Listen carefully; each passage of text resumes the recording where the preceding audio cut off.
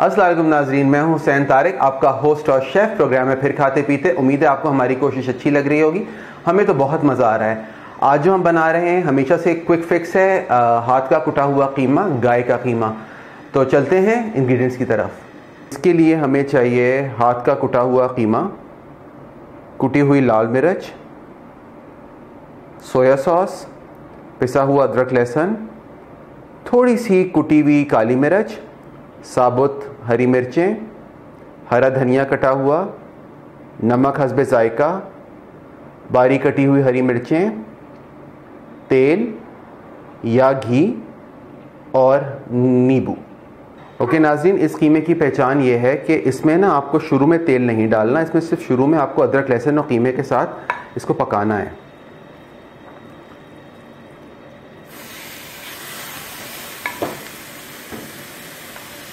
आपने ये कीमा डाला और इसमें आपने तकरीबन दो टेबलस्पून के करीब अदरक लहसुन डाल दिया। अच्छा बहुत से लोग ये कहते हैं कि इसमें आप लोगों को अदरक की स्मेल नहीं आ, आनी चाहिए लेकिन अदरक लहसुन ज़रूरी होता है। अब इसको आपने पकने दिया और थोड़ा सा पानी डाला। और ये कीमा अपना पानी खुश कर रहा है और ये पक रहा है। नाजीन देखें, ये पानी खुश्क हो गया है। आपने ये पहले भी कर सकते हैं, लेकिन आप ये बाद में भी कर सकते हैं। ये आपने एक दो हरी मिर्चें तोड़ी। साबुत। ये मेरा सिग्नेचर स्टेप होता है हर खाने में। अब आपने हसब ज़रूरत, यानी तकरीबन तीन से ये आधा किलो कीमा है। आपने तीन से चार टेबलस्पून तेल डाला। क्योंकि अगर आप इस तरह का जो ये भुनावा कीमा होता है, इसमें शुरू में तेल नहीं पड़ता है, वरना कीमा काला हो जाता है। अब आपने इसमें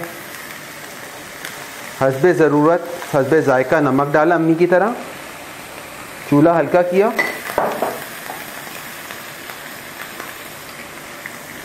हमने एक टेबलस्पून कुटी हुई लाल मिर्च डाली। चुटकी भर काली मिर्च मुझे काली मिर्च का टेस्ट ज़्यादा पसंद नहीं है देसी खानों में। काली मिर्च हमारे अंग्रेज़ी खानों के लिए अच्छी होती है। और इसमें हमने थोड़ा सा सोया सॉस डाला। अच्छी क्वालिटी का डालें नाजरीन क्योंकि जो ख़राब क्वालिटी का होता है उसमें सिर्फ़ आई थिंक रंग डाल देते हैं। एंड uh, देखिए नाजरीन ये कीमा पक गया। इसमें हमने ना कोई ज़्यादा पानी डाला थोड़ा सा पानी डाला क्योंकि कीमा नीचे से ना गले जले गले में कह रहा हूँ। ये हाथ का कुटा हुआ कीमा है। इसकी एक टिप भी है नाजरीन के, कीमा कभी भी धोते नहीं है। आप कसाई से बोलें, गोश्त धो के कीमे को चॉप करें या मशीन में डालें। कीमा धोएँगे, कीमा ख़राब हो जाएगा। लोग मल मल के कीमे की शक्ल ख़राब कर देते हैं।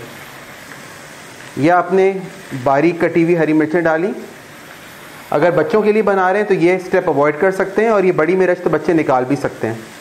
यह आपने हरा धनिया चॉप डाला। और ऊपर से चाहें तो थोड़ा सा नींबू। ये कीमा नाजीन आपका तैयार हो गया। इसको आप सादे चावलों के साथ, तड़का दाल के साथ, खट्टी दाल के साथ कीमा खाएँ और ये कीमा तैयार है।